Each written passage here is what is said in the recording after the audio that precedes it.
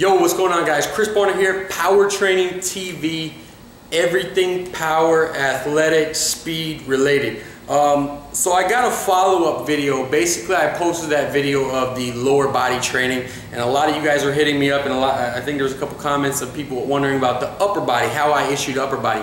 Again, this is coming straight out of the book I'm about to release, but I don't want to hold anything back for you guys that can't basically get your hands on something like this, and I want to make it easy for you to follow. I still want to help you out regardless. Um, so, if you can see, it's very similar very, very similar style of sequence of template of how I do my lower body training. So say I, like I mentioned before, you might do lower body twice in one week. I do upper body typically twice. You know, I typically train my athletes four days a week, two upper body days, two lower body days. Obviously, when they get towards season, we're fortunate enough to have uh, tires and, and all kinds of strongman equipment, so the, the parameters tend to change. But for a base thing for you guys to follow in your uh, LA Fitness or Gold's Gym, this is a perfect template. So let's go over it. First and foremost, I start off with a plyometric movement. This is going to be that fast-paced movement where we're really just uh, executing with pure power. This is going to be an upper body movement, however, though. So what this is going to look like is some kind of med ball tosses, something ballistic like that. Maybe a med ball slam, maybe clapping push-ups, maybe landmine one-arm presses. I really play with different um, different apparatuses here, and you guys can get creative as well. It's it's easy to go down. You know, just all you need is floor. Be able to do some kind of clapping push-ups, or where you turn to the side, something of that nature. I keep the volume really low there and really explosive.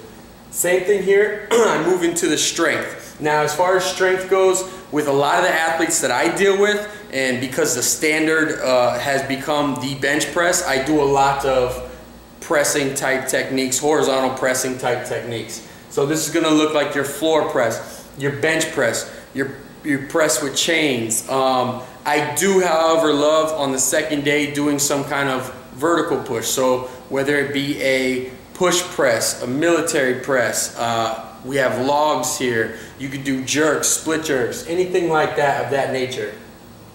This is where it's going to get a little more, uh, I don't want to say complicated, but I just want to, bear with me, I'm going to show you the best I can. So as you can see here, for my, the two that I superset is going to be a vertical horizontal pull. Okay, so I switch off. So week or first workout here, second workout here. All right, just to break it down for you guys. So vertical pull, that's gonna be your lat pull downs, your chin ups, um, anything where you're basically pulling down, engaging the lats. Horizontal pull, that's gonna be your big rows, your one arm rows, your cable rows, anything of that nature, inverted row. Then it's going to superset with a horizontal or a vertical push.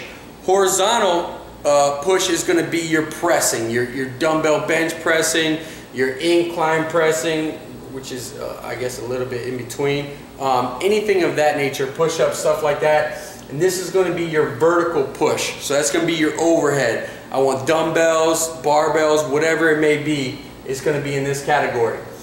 Week, the first workout of the week is going to be a vertical pull and a horizontal push. So I balance those two out. Second time we come back around, it's going to be a horizontal pull, vertical push. But as I program, it depends on the strength movement. So let's say this is a heavy bench press, right? I'm going to do a, uh, a more vertical push, overhead push, because I already did a horizontal push that makes sense to you guys. Um, and depending on where they are at, I will move along and say they're coming into season.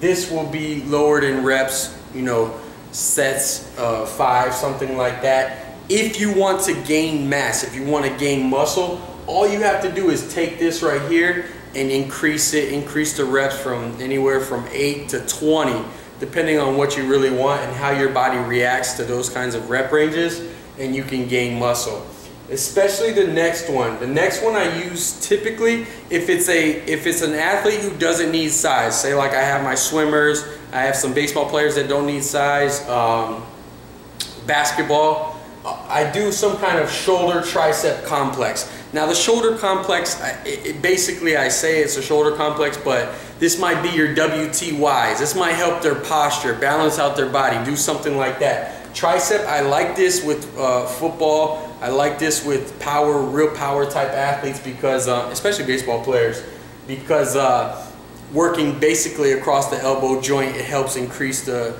the pressing.